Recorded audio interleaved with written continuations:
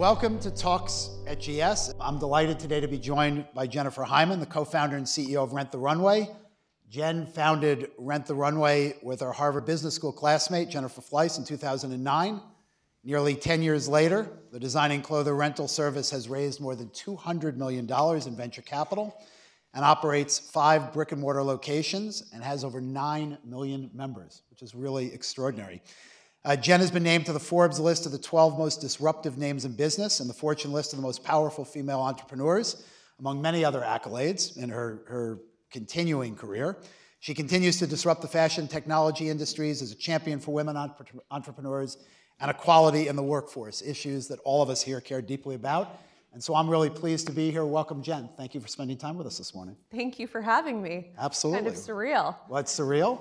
I mean, it's CEO great. of Goldman Sachs. I mean, this is this is big. The CEO, the CEO of the CEO of Rent the Runway. I mean, this is big. Okay, for this audience, for this audience here, the CEO of Rent the Runway is just as important as the CEO of Goldman Sachs. So let's, you know, I always like to when we when we have these talks, you know, when you look at someone that's achieving, you know, as much as you're achieving, you know, at, at this stage in your career, you've got to go back and just start at the beginning. So I have to ask you a little bit just about your, your family and your childhood and kind of what motivated you. You grew up in New Rochelle, New York, which is not far from where I grew up. Um, and so tell me a little bit about kind of growing up in New Rochelle and kind of what, what you think about your childhood has had an impact on uh, your professional ambitions as you're kind of moving through your career. Yeah, so I grew up the oldest of four kids, mm-hmm. and one of my younger sisters is severely autistic. So it really changed the dynamic in my family. Number one, my mom had a big career in finance that when my sister was born, she basically opted out of the workforce because at that time, it, it wasn't a conversation like who's gonna stay home with Sherry. It was kind of obvious that my mom was gonna stay home, even though in reality, she probably had the, the bigger prospects for her career. And what I think it does when you have someone who 24 7 needs care. So my sister isn't super verbal, she can't live independently. And growing up, there was a lot of spontaneous surprises mm-hmm. that would happen. And the thing that I learned from it is number one, in the 80s, a lot of people, when they had a disabled person in their family, they'd keep them at home.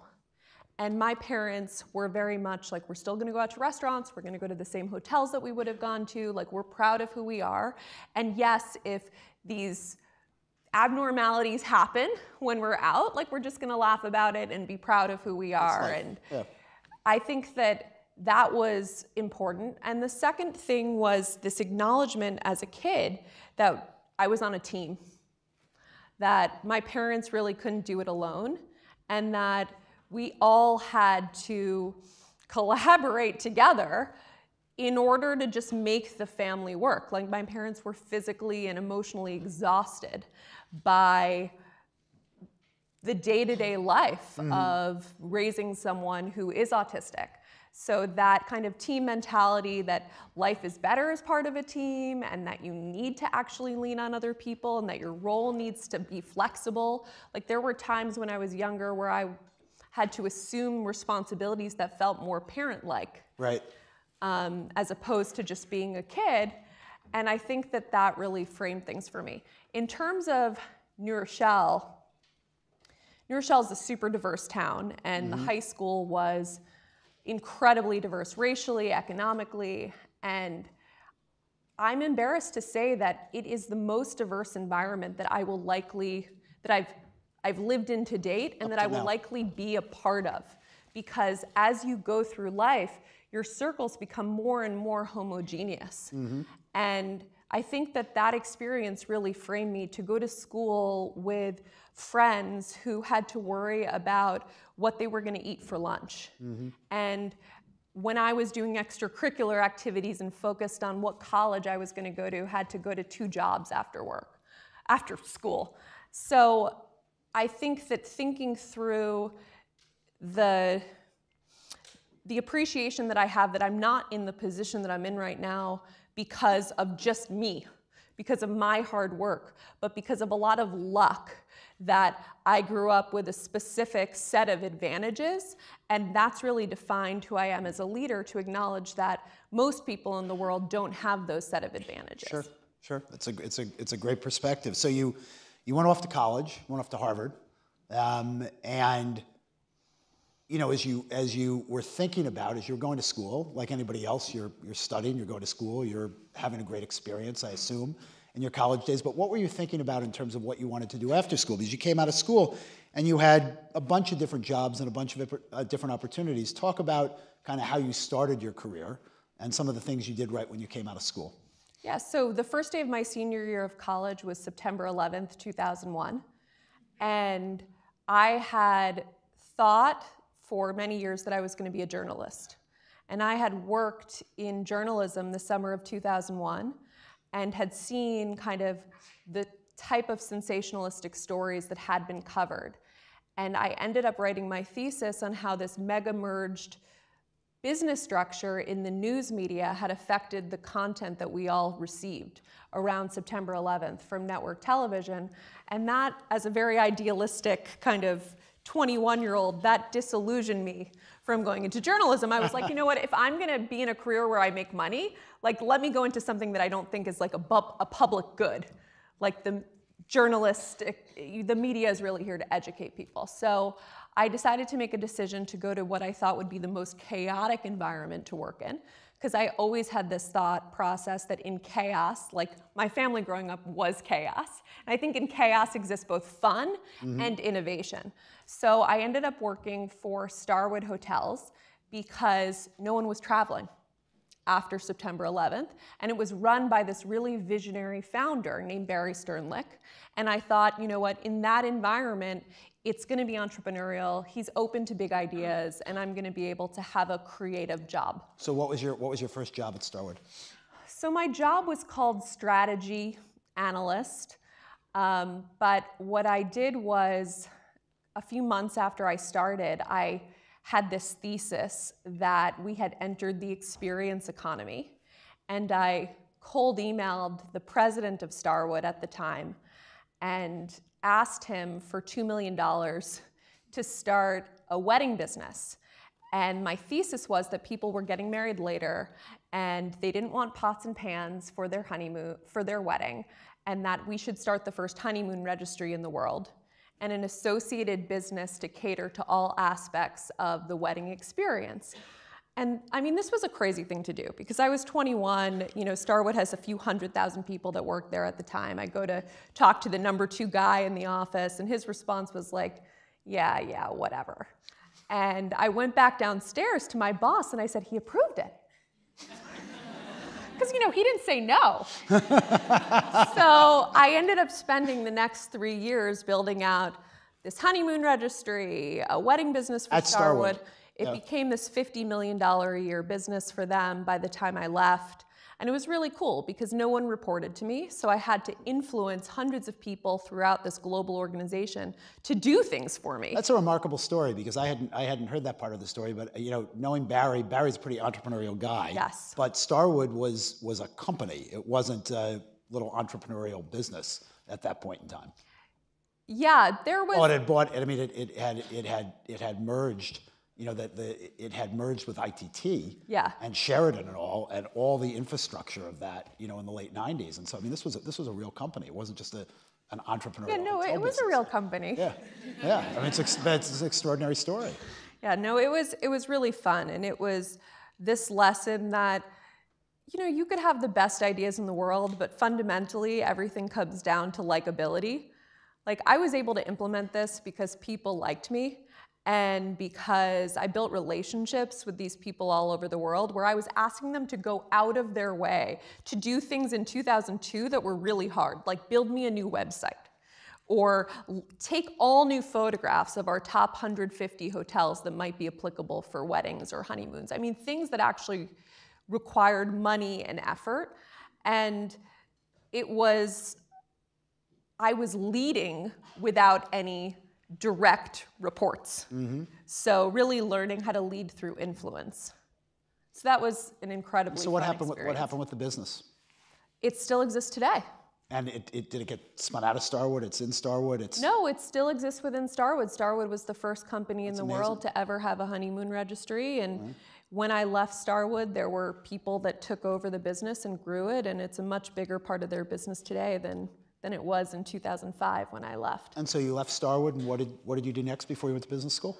I worked at a startup uh-huh. in LA called WeddingChannel.com, who had been a partner of ours at Starwood, and I sold advertising on the internet in the early days. I was basically dialing for dollars and had Good experience. yeah, had people reporting to me, and everything in life is about sales. So, learning that early to run a sales team.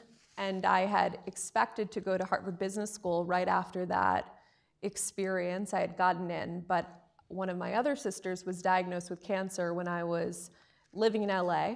So I decided to quit my job and move back to New York and defer business school until she was healthy, which mm-hmm. she is right now.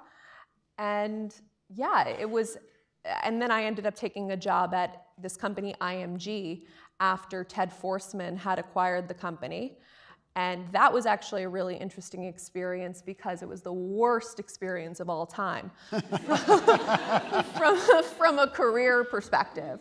I mean, talk about like a hotbed of sexual harassment, cruelty, a horrible environment to work in. And, and I'm not understating this at all. um, How long were you there? I was there for a year and a half. And I think that it was actually really important because I think, number one, I had to develop a really thick skin. I was the only woman in an 80 person division. You were out in L.A. I was in New York. You were in now. New York, okay? But number two, it really framed my business school experience in that I made this promise to myself that before I went to school that I didn't really care what job I had when I left, but I had to be excited when the alarm went off in the morning. And that I had to work with people that I loved, that I respected, and I wouldn't put myself in an environment anymore where it felt like a dreaded act mm-hmm. to go to work and to wake up. So you went to Harvard Business School, and let's talk about. There must have been an aha moment. I mean, you're you're you and your co-founder. You just sitting around, you know, having coffee one day, and you're like, "Hey, let's start a business." I mean, what what what what was the aha moment? What what prompted the beginning of Rent the Runway? Well, I was home in New York for Thanksgiving break, and I was at my younger sister's apartment, and she had actually just gone to Bergdorf Goodman, and she had bought a $2,000 dress as a 25 year old to wear to a wedding that she had that weekend. And at the time, this was more she was paying, more than what she paid on her rent. It put her into credit card debt. And I'm there in front of her closet that was filled with other beautiful dresses, kind of yelling at her, like, What's wrong with you? Why don't you wear one of these other dresses again? And her response was, Everything in my closet is dead to me. I've been photographed in it. The photos are up on Facebook. I need to wear something new. And to me, that was this light bulb moment that we were having a conversation about the experience of wearing something that she felt confident in and the asset, the photo that would exist afterwards that she would use to brand herself to her thousand friends on Facebook of how great she did look and felt. And that she actually didn't care about any of the items that she had already bought. Like they were dead to her. And in fact, if you think about the closet, the closet is this story of like what once was. Like, these are the jeans that used to fit me. This is the dress that was in style. this is the thing I want. You know, this is the thing I wore on my first date with my husband. You know, and I thought, you know, what if the closet was really a story of today, of the future, of how you want to feel? So I had this actual idea for putting the closet in the cloud, for having a subscription to the closet. However, I thought like it was too ahead of its time. This was 2008. So There was no cloud yet. Well, there was also no sharing economy. Yes, yet. The only absolutely, yeah. business that existed in the sharing economy was Netflix. So I came back to school.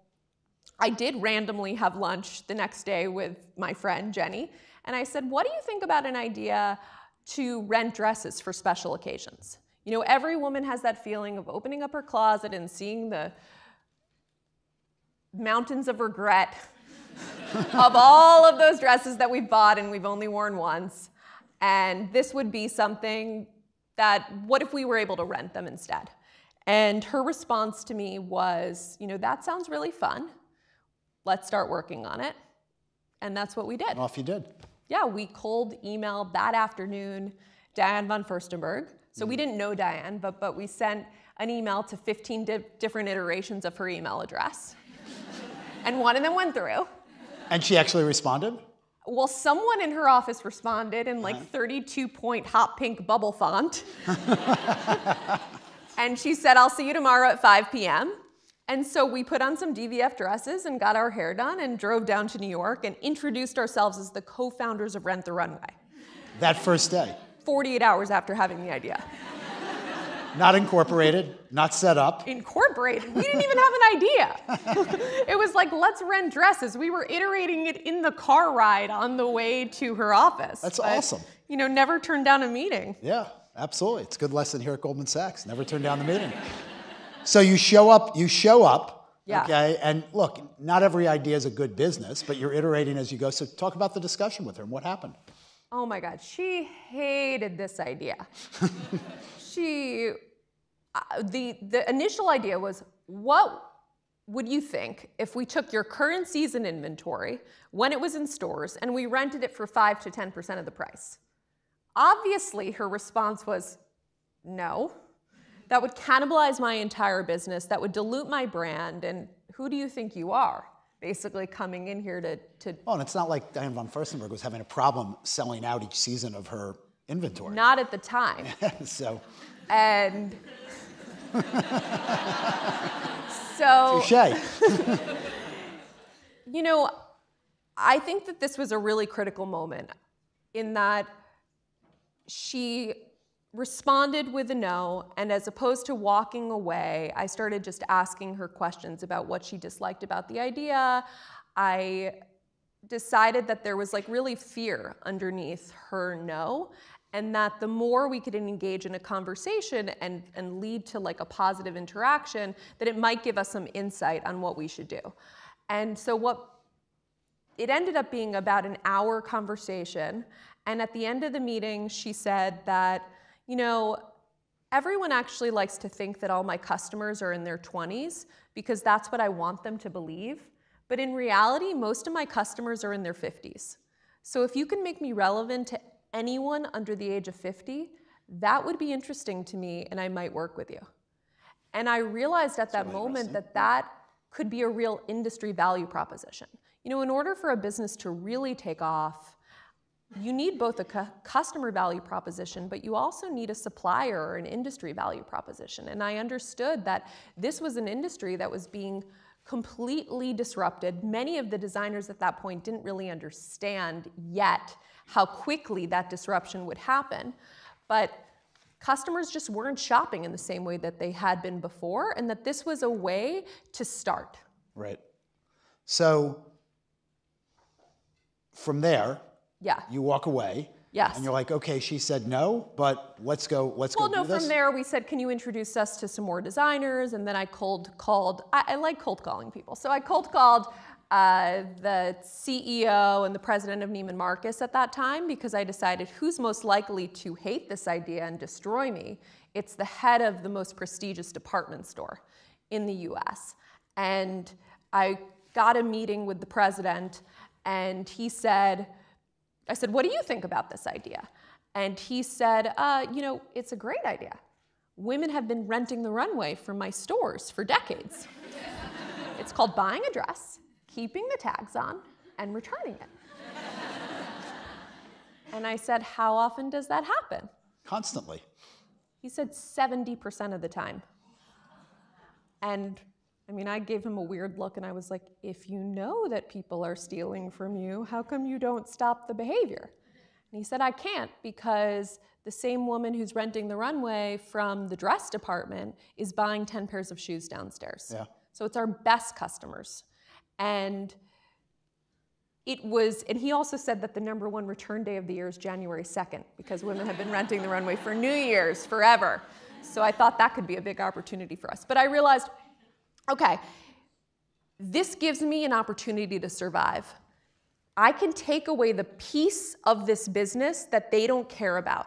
Yeah. So this is a negative margin customer for retailers, people who are buying dresses. So if I start renting dresses, they're going to give me some airspace.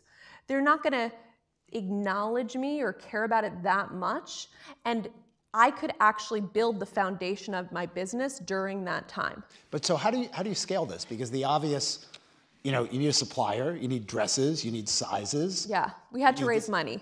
Okay, and so you go out. What's what's how much capital did you raise when you started? We raised as much as we could, which was we 1.75 million dollars from Bain Capital. Mm-hmm. We raised it while we were in school, and it was enough to buy an initial slate of inventory from designers to develop our first website, you know, hire our first team members, but it was pretty everything was pretty bare bones at the beginning. Was it was it localized or could you do this could somebody go on the website in New York, California, you figured out how to get to We them? launched all over the country and actually the day that we launched, we ended up on the front page of the business section of the New York Times. So we had 100,000 women sign up in our first week, which blew out our, our sales projections for year one over the first three weeks of the business. So it was kind of off to the races from the very beginning. And we were working 24 7. I mean, this was a time when we would transition our team at 3 p.m. to going to our local dry cleaner, which is where we housed the inventory at the time, because we were the ones pick, packing, and shipping the orders. And so this had to be very difficult to scale initially. I mean, in those days, as you said, you're going 24 hours, but it's growing like this.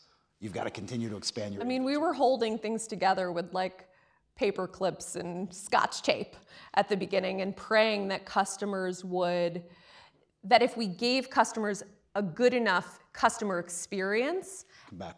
that they would come back and, and give us a break on the fact that there would be mistakes. So that whole that whole experience of that that kind of rapid race to get it all to work. Number one takeaway that you look back and say, you know, this was kind of the key thing I learned there that's really helped as you built a much bigger business. I think the key thing I learned from the beginning is that I was running a logistics and technology company. Mm-hmm. So, beginning of Rent the Runway, I thought I was going to outsource my technology and my logistics. Fast forward 10 years, and 90% of my employees are engineers or work in logistics. And those areas have become both the core competencies and the barriers to entry of the business. But if you think about what we really do to actually put your closet in the cloud, it means that we're providing you this physical experience of getting new clothing every single day, presenting it to you in perfect condition, receiving it back from you, turning it around, and sending it to the next, next customer. Big logistics business. Yeah. So that was an aha moment. And thank God we realized that after we launched, because neither myself nor my co founder had any experience in engineering or logistics. And it might have scared us away from even doing this in the first place had we realized how intense this business would be. So as the business grew two years ago, you expand the the initial model with unlimited, Yes. and that's now 50% of your customers are unlimited customers. Is that Um, right now, over 50% of our revenue is coming, coming from, from- our subscription. from your subscription. And so talk talk a little bit about how that's changed the business because you're really building a it's becoming a subscription model and it's it's a real experience. It's a completely different experience to be a subscriber. Multiple items coming through. You really are now. Your cloud your closet really is in the cloud. Yeah. If you're an so unlimited subscriber. We had to first normalize the behavior of renting clothes. So prior to Rent the Runway, women had never rented clothes before. And it mm-hmm. was easier to do that around a special occasion, a gala, a wedding you were going to, when you knew that you were going to buy something that you were likely only going to wear once or twice. And then we started hearing from our customers that they loved Rent the Runway. They were renting from us a few times a year, but the thing that was actually the most important occasion in their life was going to work. And that there was this massive financial, emotional, and time based tax that was placed on professional women when they had to show up dressing for the job they want every single day. And they were asking us, hey, can you enable me to rent for work? And that was really the birth of our subscription product, where we thought about how do we create a service where people could have clothing on rotation and use it for this primary use case of work. Now it's two and a half years later, and our average subscriber is using Rent the Runway 120 days of the year as a substitution for going into her own closet or buying something new. And her number one request from us is she wants to use it more days of the year. So it's remarkable consumer behavior change to be running a business where people were using us, let's say, four times a year before. And now they're using us 120 times a year. It's remarkable. It's also it's an incredible business model that you've created a business that people want to use 120 times a year. Yeah, I mean, That's- we that's- recent, that's I recently huge. found out that the average American only buys coffee 85 days a year. So I was like, the fact that this is more ubiquitous right now than coffee is is a good sign. How many people here only buy coffee 85 times a year? I mean, I buy it. I'm at least I'm at 365 least days a year. 365 plus for Definitely, sure. Okay, definitely. come on. All right. I want to see who those Americans are 85 times I'll year. send you the data. Okay. So last week you announced a partnership with WeWorks where you said you want to simplify the lives of women. Talk about the partnership and talk a little bit about your thinking behind it. Yeah, so okay, so what's the goal here? Goal of what we're trying to do is to increase usage. We want to make it fiscally irresponsible for someone to not have a subscription to fashion.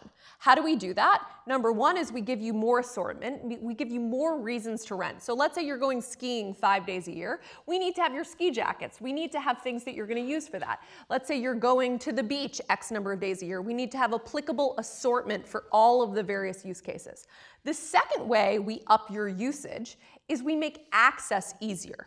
We mean getting you inventory quicker and facilitating that turnaround in an easier way so that we remove friction from the experience.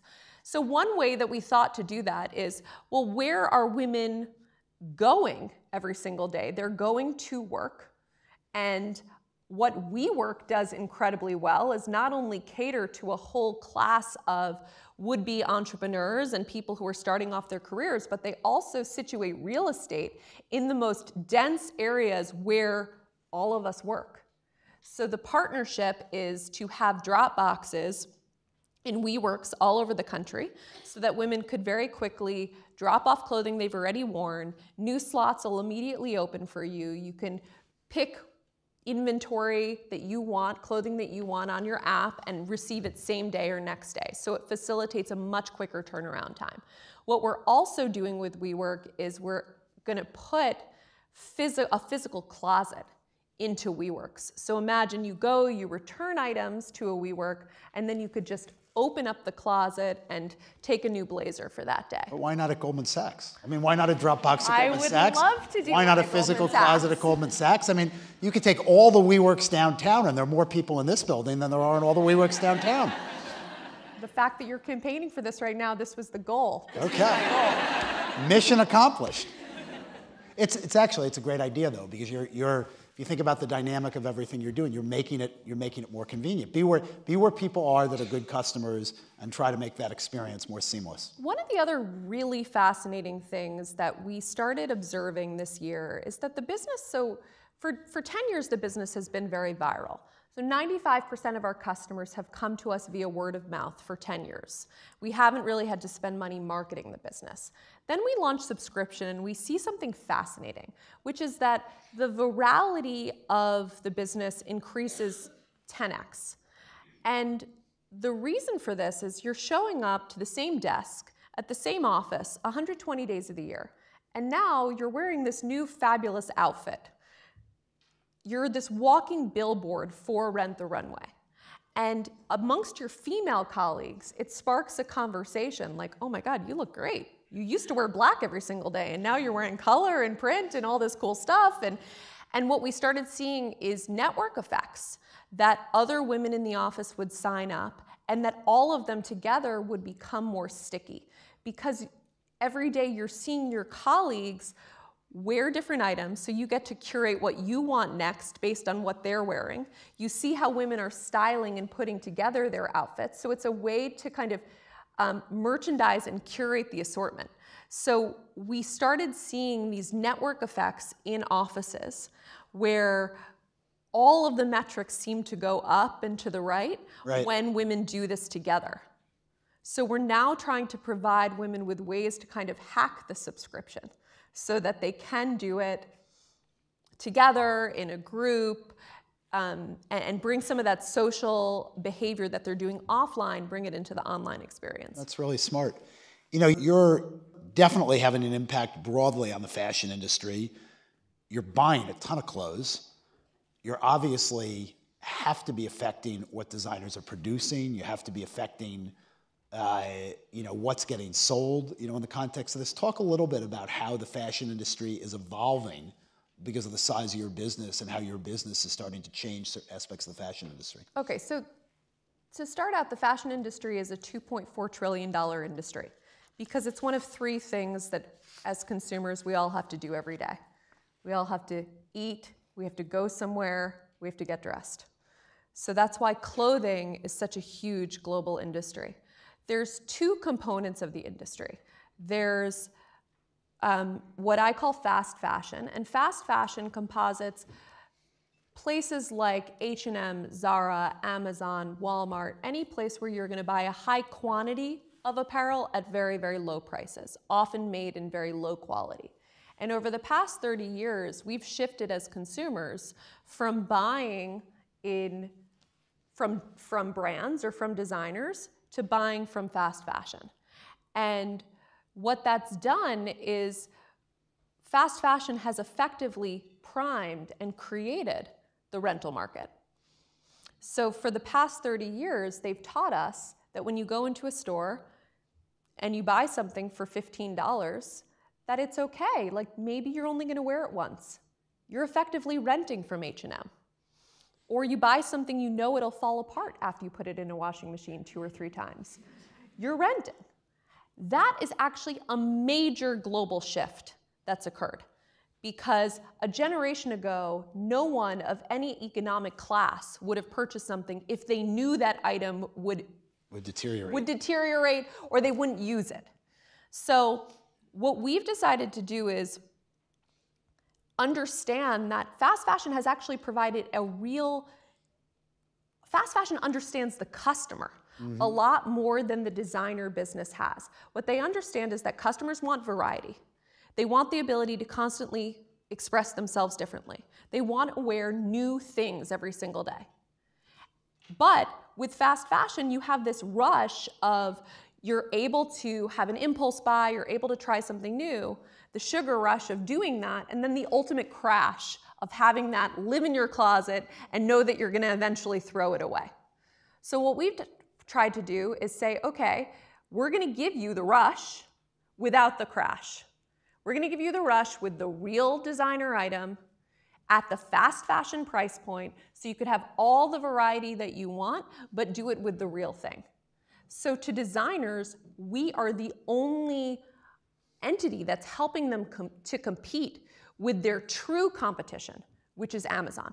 Mm-hmm. Because we're enabling a customer to get a designer piece at a mass market price point, but we're preserving the luxury prestige and the luxury premium. So we're not actually desecrating their product in the same way that they used to do a partnership with Target, let's say. You have Missoni for Target, but it wasn't real Missoni product.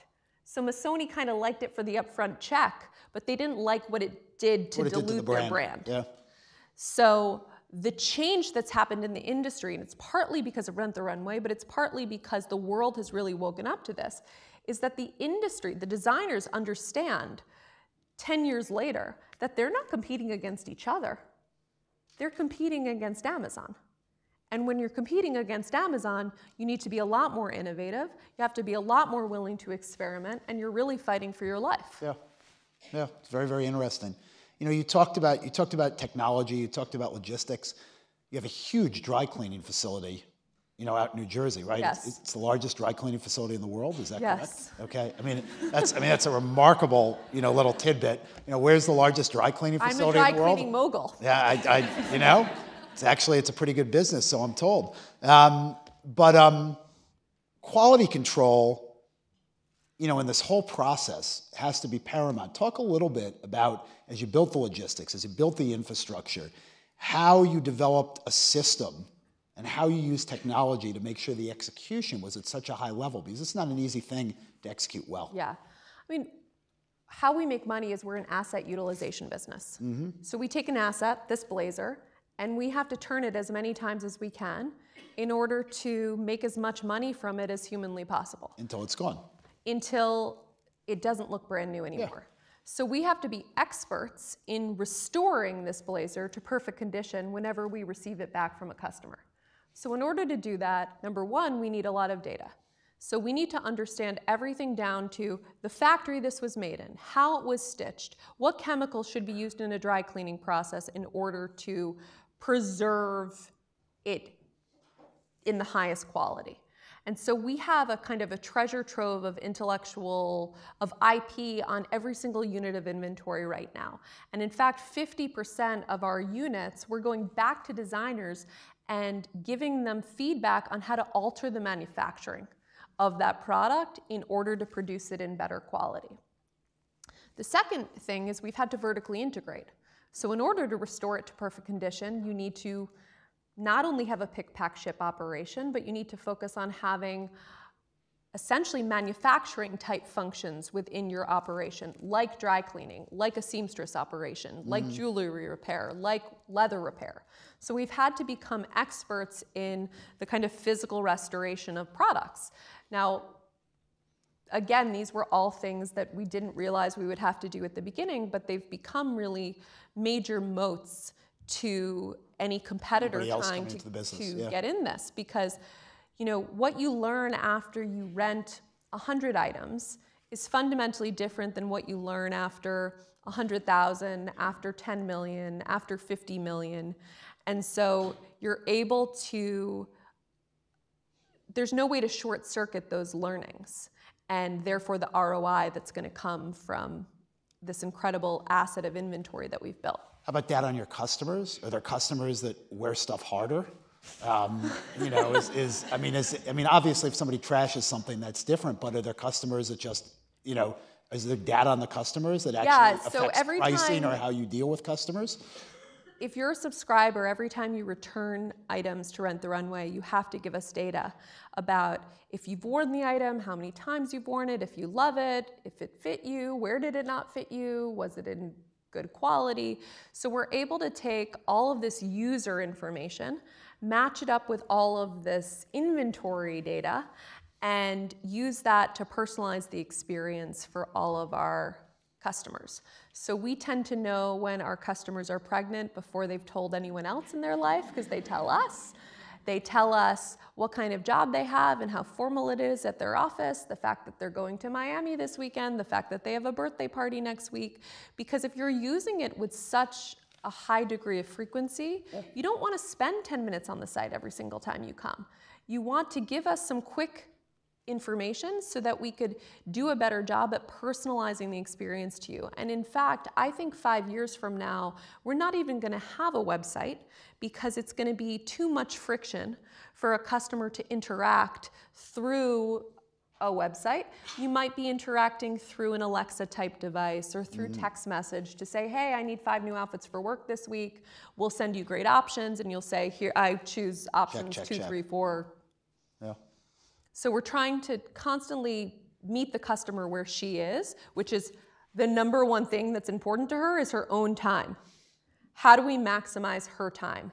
Because not only do we have more women working than at any point in human history, so 75 million professional women in this country, we also still, as women, do 85% of the work around the house. We do 90% of childcare, and therefore, our time has become an even more precious asset than it ever has been.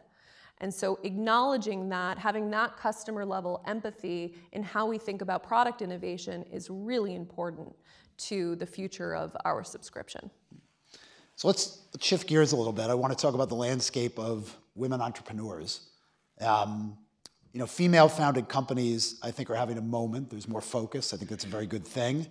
Um, still an uphill battle to get initial seed funding. You know, we've created something here called Launch at GS to try to make a more concerted effort to, found, to fund female-founded companies. describe your own experience with this. And as the landscape's evolving, how could it evolve more quickly? How can, how can capital that exists potentially be more aggressive in increasing the diversity of where it's going? Um, and, and not just gender diversity, but also you know, ethnic, racial diversity too. Talk a little bit about your views on this. Well, I, I think that maybe female founders are having a moment in the media, but that isn't correlated with dollars. Yep.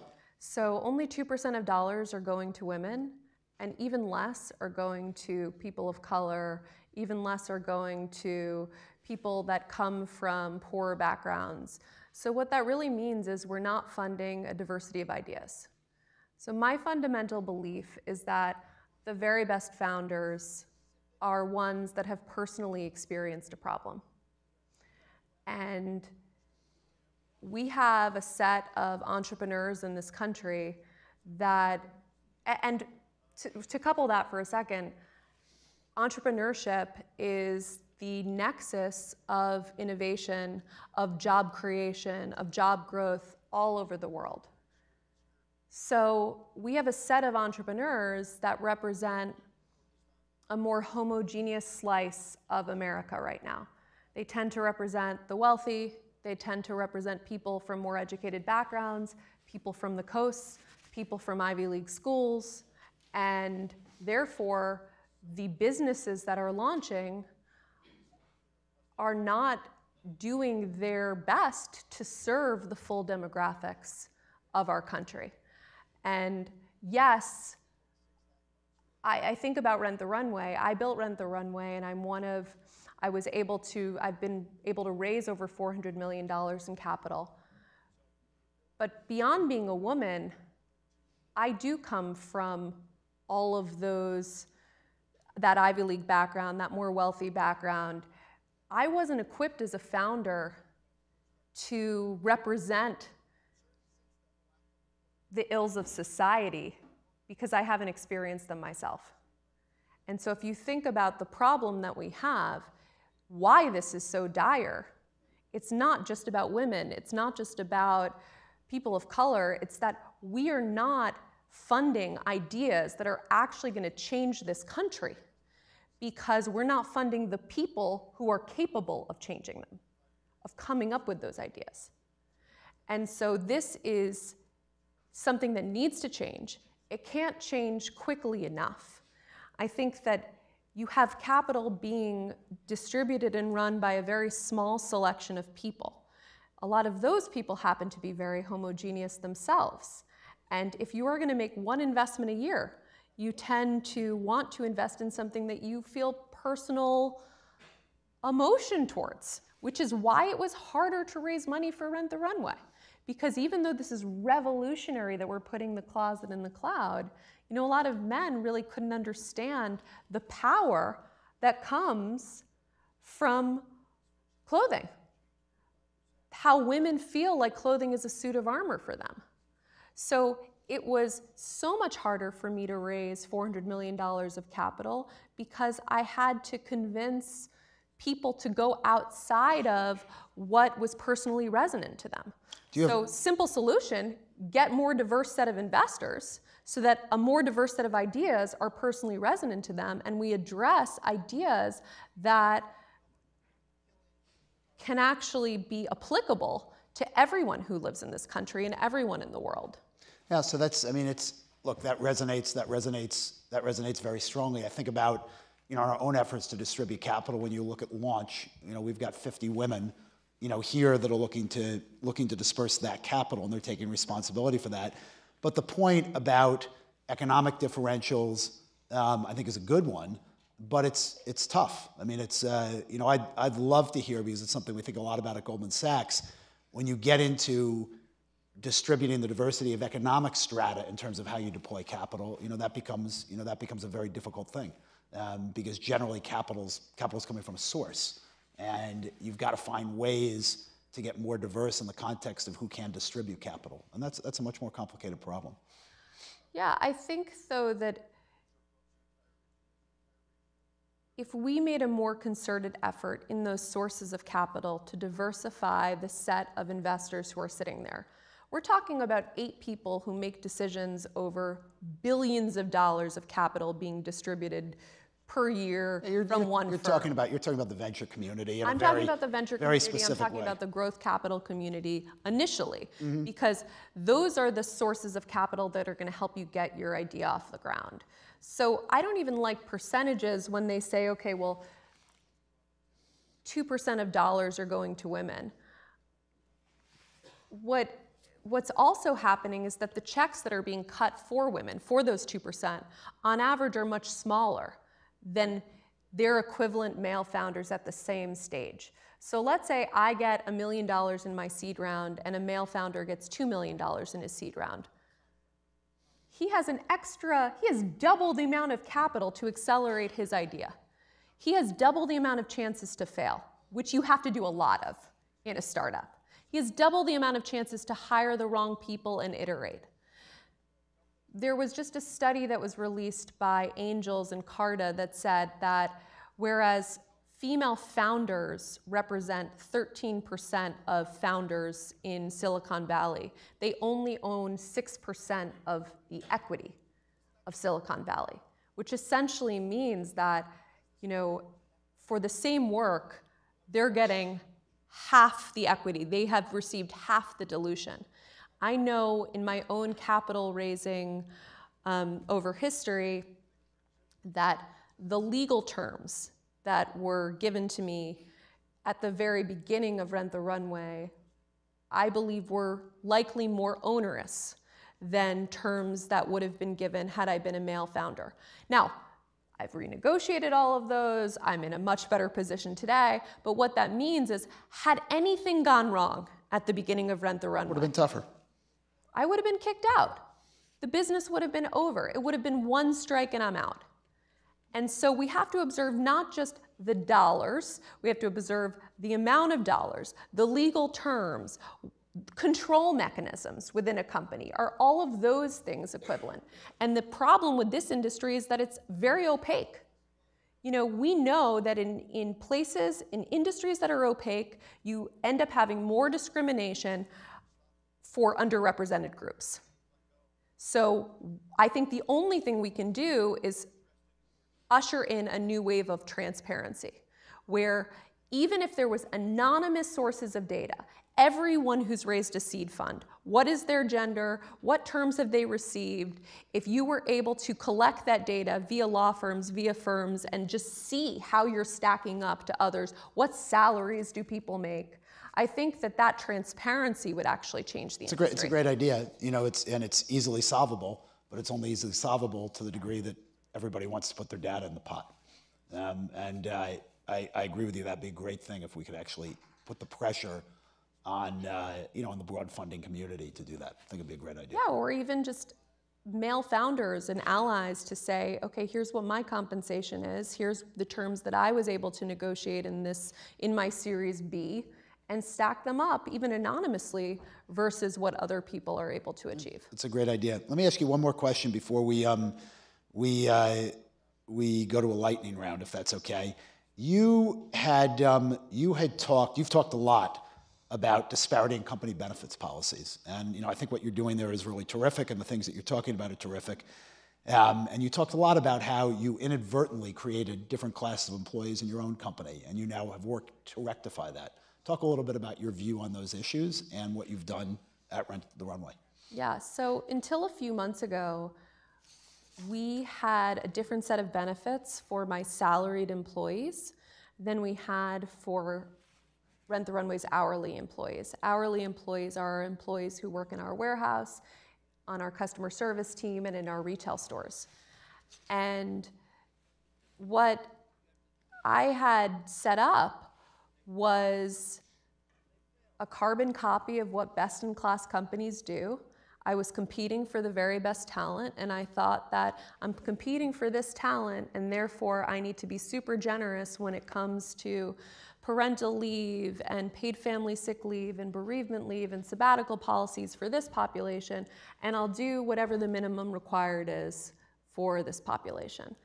And I got to a point, given the number one, the political climate that we're in, where I feel like, you know, I can't rely as much on Washington or government to make the moral choice. And number two, I got to a point where Rent the Runway had scaled dramatically, and I recognized I'm now um, managing a team of 1,500 people and their families. And I have, through this lack of thinking through the implications of my own actions, I've basically created per the perpetuation of income inequality in my own company, the perpetuation of lack of flexibility in the sense that we have a full team of people who have made Rent the Runway into the multi billion dollar success it is today. And it's not because of just my corporate employees. It's because of my whole team that's gotten us to this place. So, why is it that a life event for someone in my warehouse is being considered differently than a life event for someone who is in my corporate office? And I was thinking that we already distinguish between myself and someone who works in a warehouse. It's called salary. I make a much higher salary than folks that work in my warehouse. But my having a child is actually not more important than anyone in my warehouse having a child, or my parent passing away is not more important. So, what we decided to do is we decided to equalize benefits across the company. And so that my hourly employees receive the exact same benefits now as my salaried employees across gender, across every division of the company. And what it unlocked for us over the last few months is actual data that a lot of people had been leaving Rent the Runway for reasons that had to do with lack of benefits. So someone would have someone fall sick in their family, and they were the only one to care for their family member. And they had to make a choice between their job or caring for their sick mom. And you know what? The mom is going to win 100% of the time. So there were these hidden costs to even not having these benefits. And there were actual costs as well. So we've already saved money off of this because the cost of actual training, the cost training, of training, recruiting, attrition, recruiting, absolutely. hourly employees is unbelievably high. So I think that this was really a first step in recognition that just because everyone else is doing something, just because something is an established business practice, it doesn't mean that it's right. And we need to inspect everything that we do and realize if we're making the moral choice, realize are we acting in a high valued way? I think that if you think about the competition for talent right now, people are choosing to spend their time at places that represent their values. And the value set of equality and of treating everyone with that level of respect for their life there's nothing more that I want my own employees of Rent the Runway to think of our company for. It's terrific. So I'm going to ask you a couple quick lightning round questions, and then we'll wrap up. Any business that you see out there that you're really excited about? I'm really excited about this new company, Mirror, which is an in home workout on a really flat mirror. So, as opposed to getting a you know, a large Peloton bike in your very small apartment or my very small apartment, this seems much more conserving space to have all of these exercise classes for you at home. Right. I, am really interested with what's happening with at-home fitness and how it's disrupting the wellness market right now. Really, really interesting business. What television shows are you currently streaming? I'm currently obsessed with BoJack Horseman. Hmm. that show has been a major surprise to me. And I watched, actually, I watched Nanette, the special, the comedy special by Hannah Gadsby recently. If you have not watched this, it's the top hour of television that I've ever watched in my life. Wow, I'm gonna have to go watch that. That's quite an it endorsement. It was a, a piece of art that, I mean, I was, his, I thought it was a comedy special. I ended up hysterically crying for the last half an hour of the, the piece, but it was unbelievable. Last book you read? I read that uh, Elizabeth Holmes, Theranos, Bad Blood. Bad Blood. Yeah. My That's the last book I read too. It was a soap opera. It was unbelievable. It was incredible. Role model you most admire, somebody you really look up to. Howard Schultz. So, talk about making equality and equal opportunity a issue before it was sexy or popular to do so.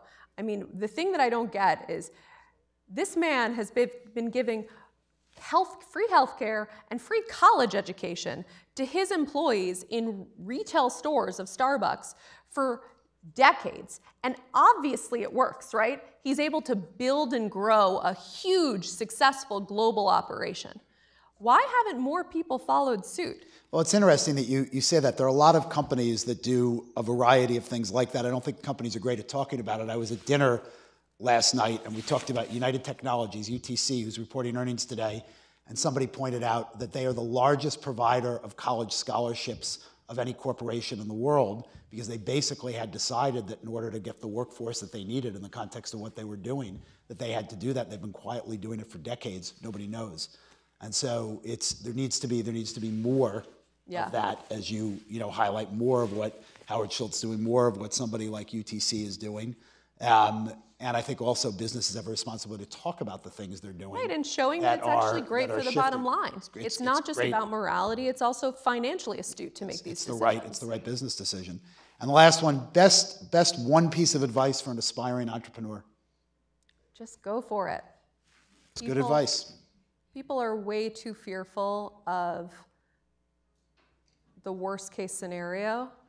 You catastrophize a situation, and the reality is that everyone is, has a lot more resilience than they give themselves credit for. And so to have less fear of failure and to just be aggressive about following that dream you have for your life. And it's not just about your career. It's like going for what you want in your personal life, going for what you want in your social life. Like it's just never going to happen unless you jump into the deep end of the pool and go for it. Jen, thank you very much. This was wonderful. Really appreciate you being here. Thank you.